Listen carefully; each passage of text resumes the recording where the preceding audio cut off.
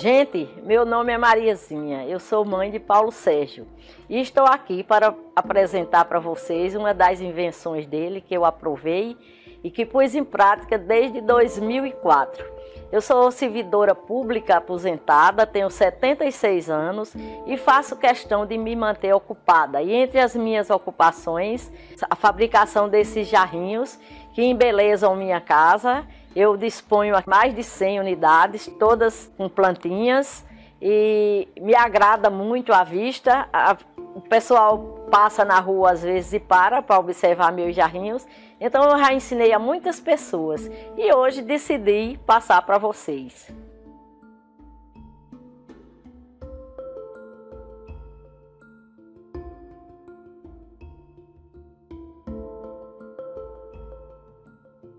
Além desse jarrinho, que ele é de parede, eu também fabrico esse outro vaso maior. Esse é, envolve duas garrafas de Coca-Cola. De Coca-Cola porque, é, dada as marcas que a garrafa dispõe, facilita muito o trabalho. Esse daqui é mais complexo porque é, envolve a emenda de duas garrafas que eu passarei para vocês, dependendo da repercussão dessa primeira informação, eu passarei numa próxima, próxima oportunidade. Olá, amigos! Para fazer um jarrinho vazinho desse, você precisa unicamente de uma garrafa PET, pode ser de 2 litros ou 2 litros e meio, preferencialmente de 2 litros e meio, porque o vaso fica maior, é, com mais espaço para a gente colocar terra e, obviamente, comportando uma planta maior. Você precisa de uma tesoura, um estilete e uma chave de fenda ou outro ferro qualquer que possa ir ao fogo e se virar para fazer os furos de sustentação na parede e de aguação, para aguação da planta. Então, o segundo passo, você vai cortar a garrafa na altura em que terminam é, as, as marcas dela aqui, ó. Então, feito isso, você vai cortar verticalmente, seguindo a marca da garrafa. Uma, duas, três, quatro, cinco, seis, sete. Sete tirinhas. E vai deixar três tirinhas inteiras. Três tirinhas inteiras que vão servir para fazer a base de sustentação da, do, do jarrinho na parede.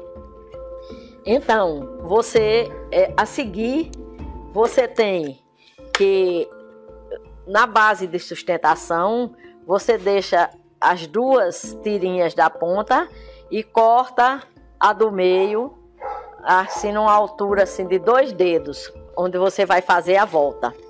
Então, a seguir, você vai fazer os cortes para encaixar as pontinhas.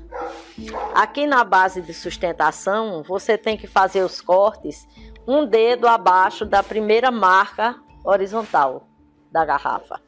Então você vai fazer também aqui uns cortezinhos laterais aqui que vão servir para o encaixe. Então, ó, você aqui, ó, certo? Colocou esse, colocou esse, ó. Aqui você já fez a sustentação da garrafa. Então, a seguir, você vai virar aqui, ó. Você vai cortar na altura da segunda marca horizontal da garrafa e vai encaixar as outras tirinhas que você cortou, uma a uma.